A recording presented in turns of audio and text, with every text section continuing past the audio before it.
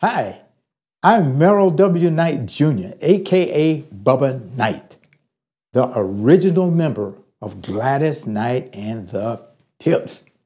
I am currently the CEO of the Pipco Music family, which consists of Joseph Piggy, our musical conductor, and Keith Carbon, who is our technical director, and featuring Miss Rachel Oliver Carbon, and Carla Marie Anderson.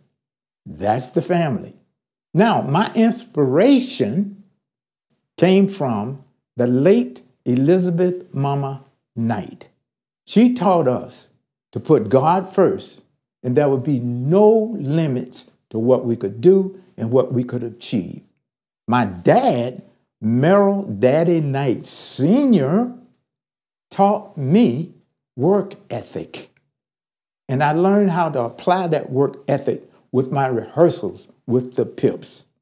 James Woods, our first cousin, nickname is Pip. He was our manager, did so much for us that we named the group after him. That's where the Pips came from. Maurice King, our musical director back in the day when we were teenagers, gave us harmony lessons so we could apply those harmonies to our recordings.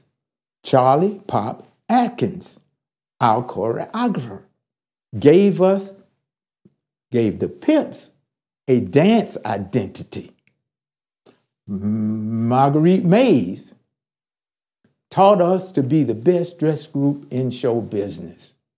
We did that along with Mama Knight and we achieved that goal.